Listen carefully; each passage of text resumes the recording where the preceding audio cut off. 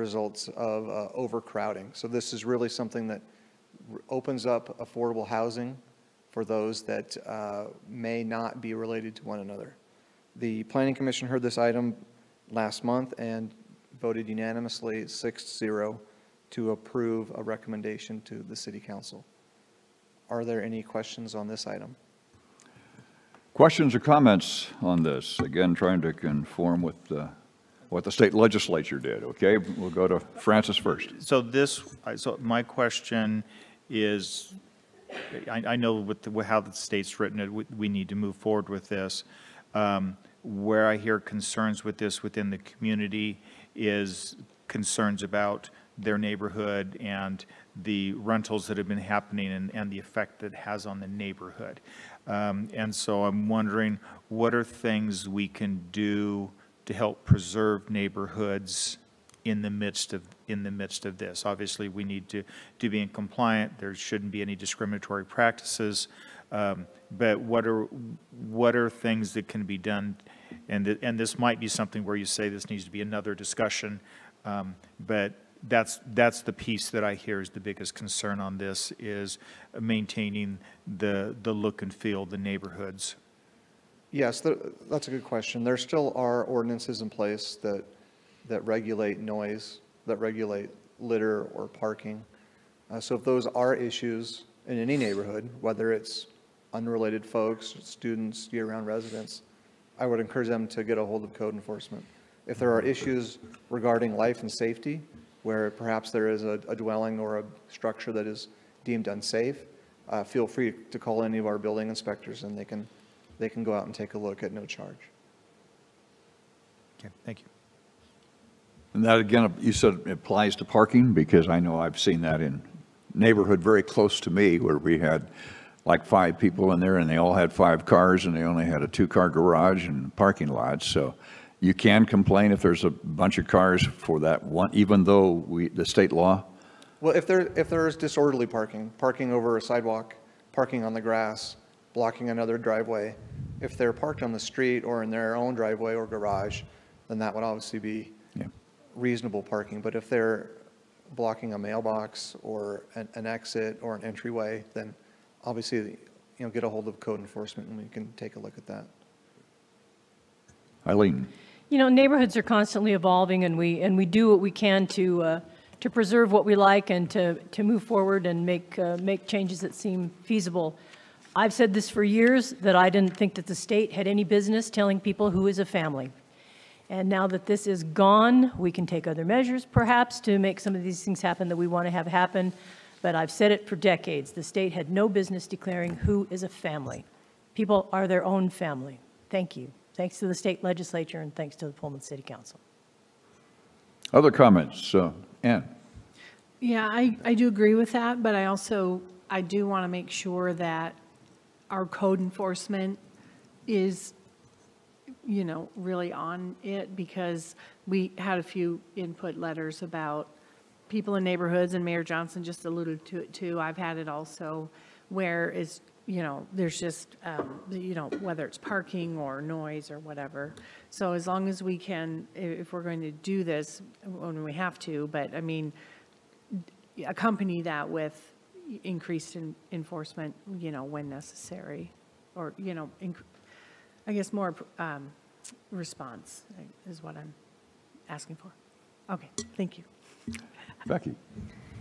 Just to echo uh, what uh, Councilmember Parks has said, and that I just think code enforcement can only do so much until we just went out, and just kind of a warning, I guess, to all of us that this is probably going to mean um, a a greater need for, for code enforcement if, if for parking only.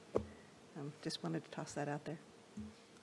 But also, it also helps in terms of communication with your neighbors. And I, and I talk to my neighbors, and we have a really good working relationship. We've been shoveling snow together, get to know people, and some of them are working for WSU, some are going to school. So I'm getting to know my neighbors this way, and, and we don't have a problem right now, so that's great. So, Nathan?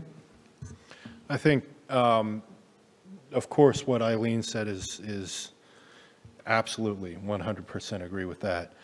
I think the issue, and this has been brought up before council many, many times, um, when Pete was a planner, he was discussing the fact that determining who is in a home, family or non, um, is extremely difficult. And placing that on code enforcement, there's only so much they can do. So I, I think it's important for the council to also understand, even though you see, you know, five cars and there's only supposed to be two people in a home, I mean, that's, that's extremely difficult to enforce. And we really don't have any existing, as far as I know, um, codes to assist with that. And um, so I think we also need to be based in reality on how much we can do regarding that, so.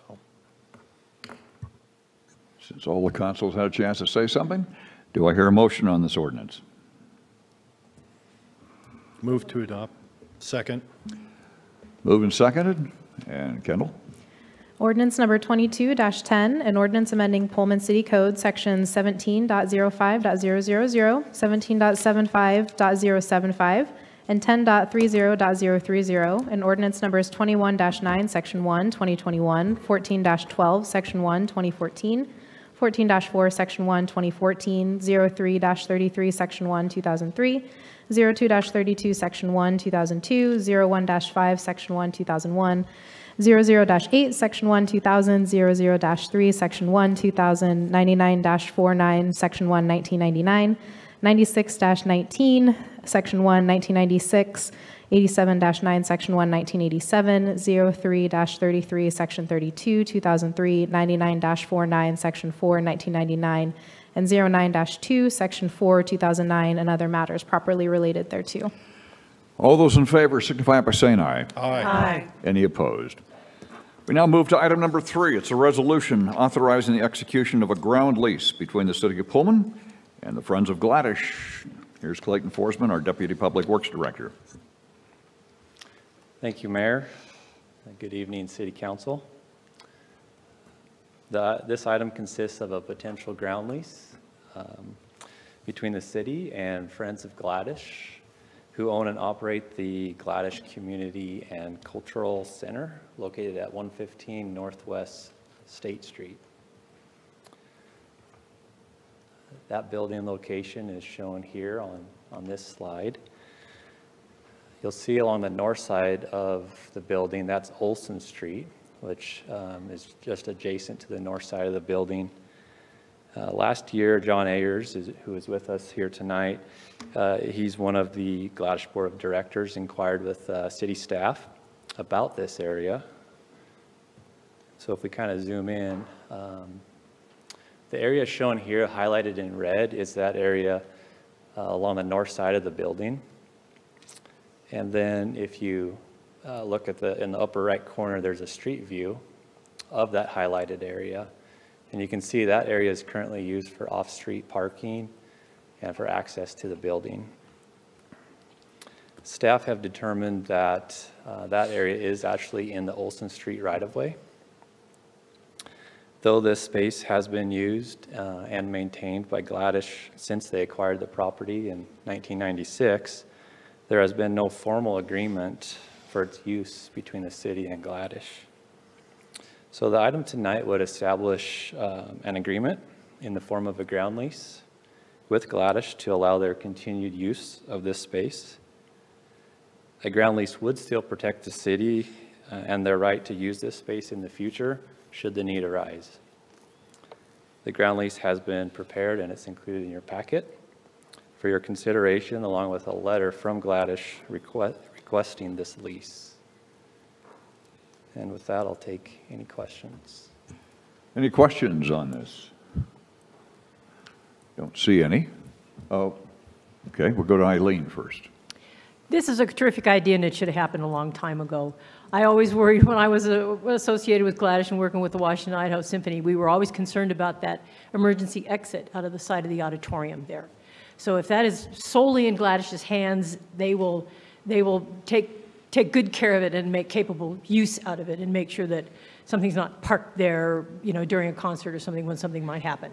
That was always something that just nagged me in the back of my mind, that, uh, that the folks at Gladish know how to manage an auditorium, and that was just one little thing that was always just a worry, and now this eliminates that. Yeah. Nathan, do you want to make a comment? Uh, Question. So as far as uh, snow removal, um, enforcement, so on and so forth, uh, that would fall on Gladish? Correct, correct. Okay. Okay. Any other questions or comments? Then do I hear a motion on this resolution? Move to adopt? Second. Moving second, Kendall? Resolution number R-21-22, a resolution authorizing the execution of a ground lease between the City of Pullman and Friends of Gladish. All those in favor signify by saying aye. Aye. Any opposed? Thank you. And John, thank you for all the hard work that you and the board have been doing on Gladish. I know you've made a lot of improvements. You've got uh, some really good goals, and you've gotten a lot of great grants, and we want to congratulate you because that's, that's going to be one of the, uh, the beautiful things we're going to be showing in Pullman.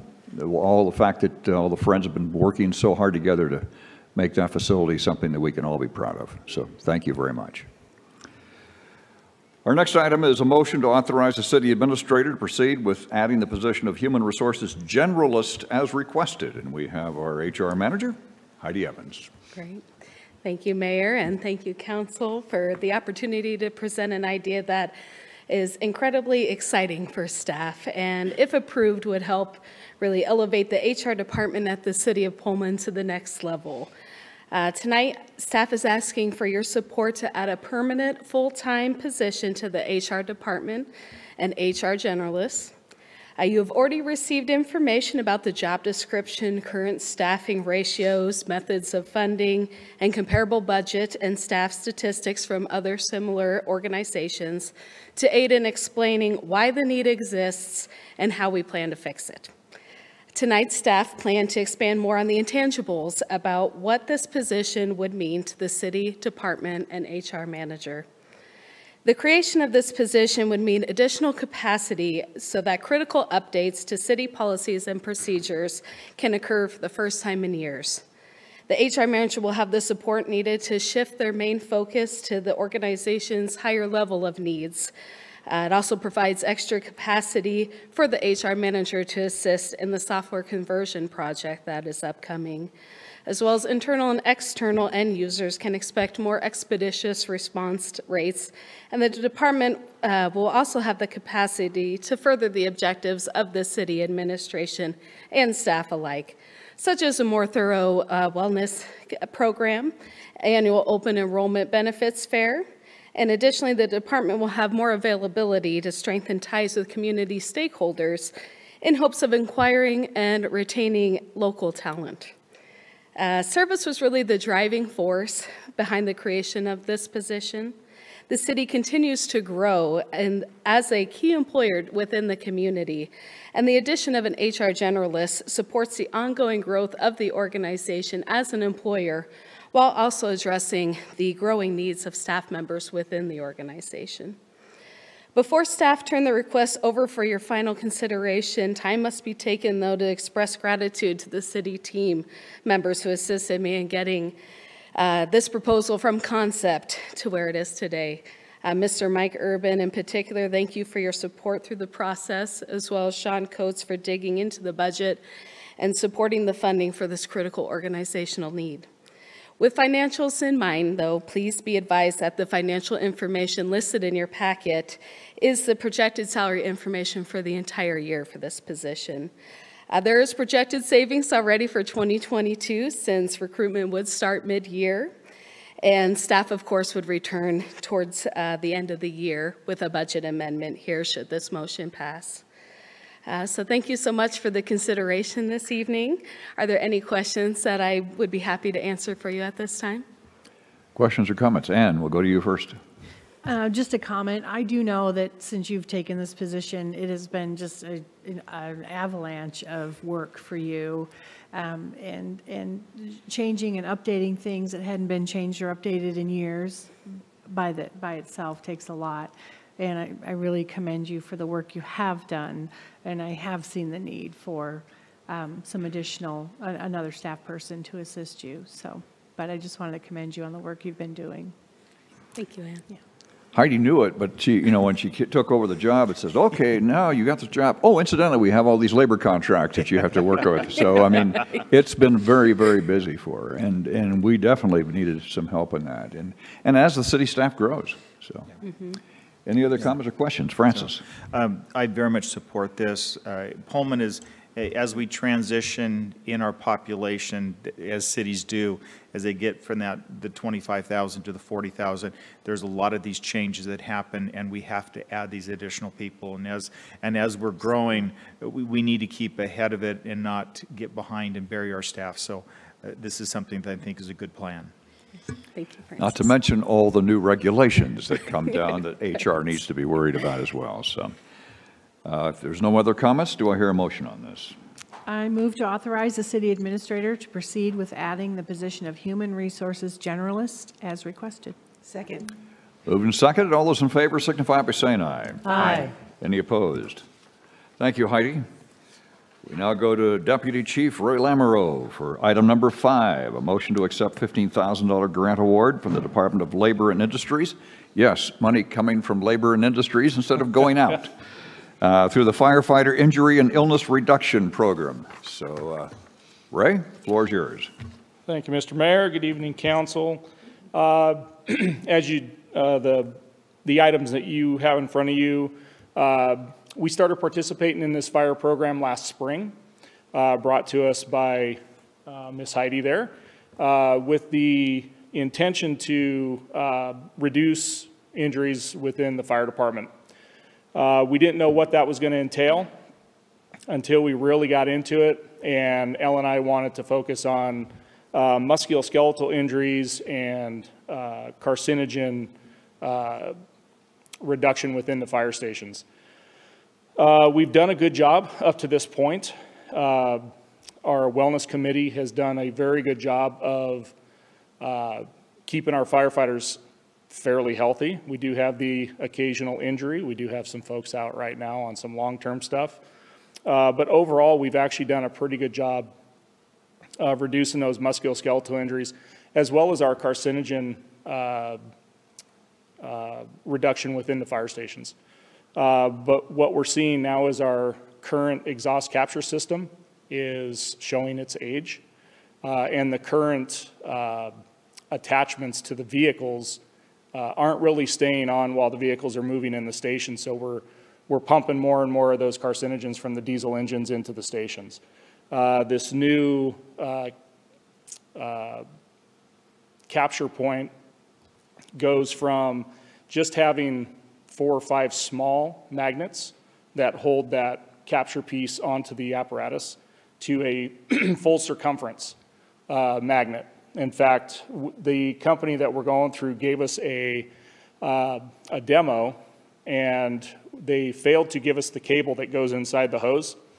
And so the magnets are so strong that the, uh, the attachment piece came out of the hose at the station and made its way all the way to Palouse and back uh, on the, on the medic unit. So it's, it's definitely something that we need uh, without replacing the entire exhaust capture system. So, like the mayor alluded to, LNI is actually giving us money versus taking it away from us.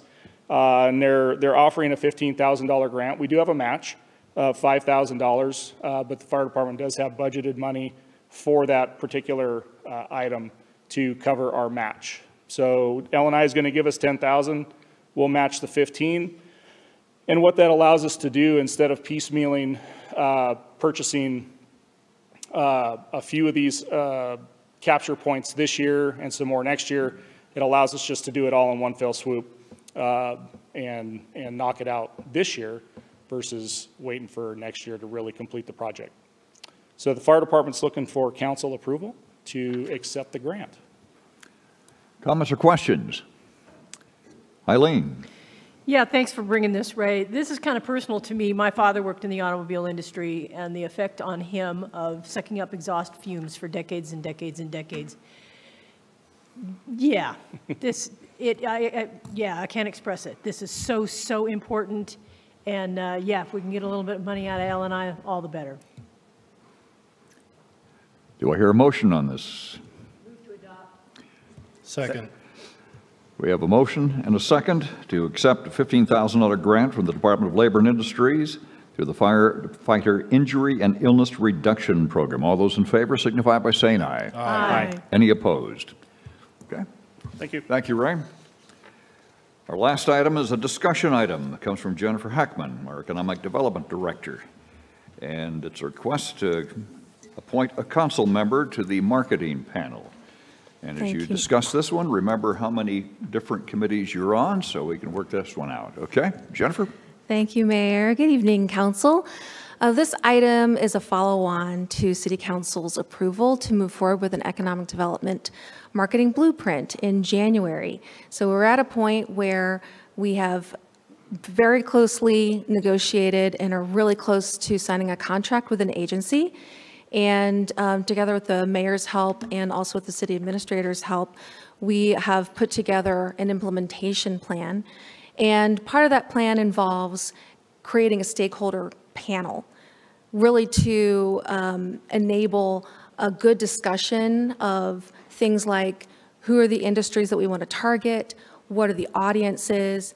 Um, This group would work with our agency and with city staff to make recommendations about those kinds of items, as well as review any of the marketing messaging, any of the campaigns, be involved in the web design, that kind of thing.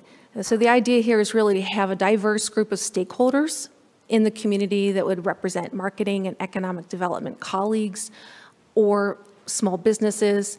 And I think it's really important um, that a council member be part of that.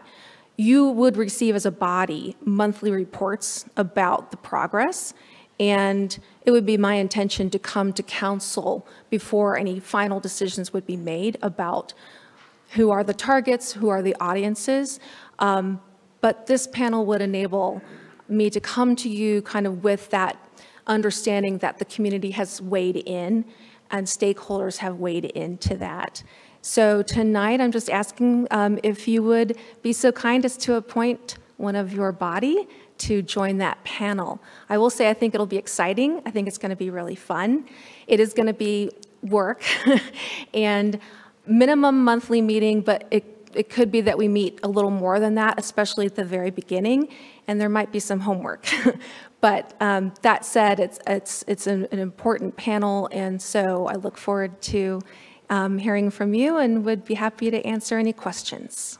First of all, questions or comments? Okay, uh, we'll go to Megan first, and then we'll go to Nathan. Well, I agree. It's an exciting uh, piece of work ahead of us and probably a lot of work. Um, I just want to throw in that I do have a a keen interest in serving on this, just because um, my interest in economic development and my background in marketing. So it, it seems like something that I could maybe contribute to. Okay, Nathan? Yeah, I actually uh, was going to nominate Megan. So you kind of took it out of, because you are the expert on our council in that area. Um, However enticing it is to me, you're the, you know, expert. So I would absolutely support Megan. I- I would have- Francis was, uh, and I see Becky is nodding forward too. I would okay. support Megan, yes. Uh, Ann, or, okay, see, the matter's taken care of, so. Thank you very much for nominating yourself and a lot of support from the council. Okay, thank you All very right. much. And we'll, and now you have the homework, okay. Any new business to come before the council tonight? Seeing none, do I see a motion to adjourn? So moved. Second. Moved and seconded, all those in favor signify by saying aye. Aye. Any opposed?